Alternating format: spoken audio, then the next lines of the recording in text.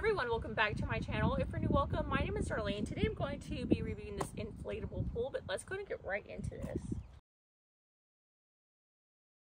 So those are the measurements to the pool right there, in case you're wondering. So it's really great this came with a pump because you've seen how fast it made it to inflate, but let's go ahead and fill it up and see the kids play in it.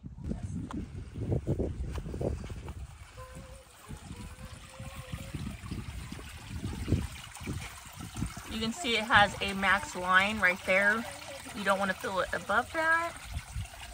But look how cute this is, like the little designs on the side.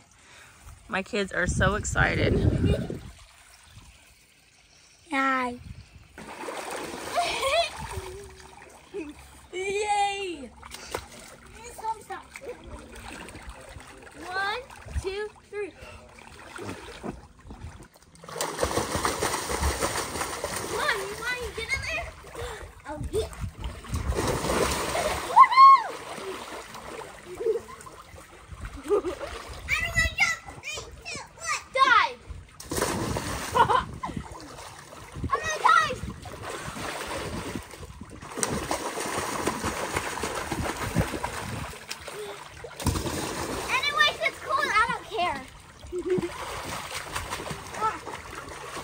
So do you guys like it?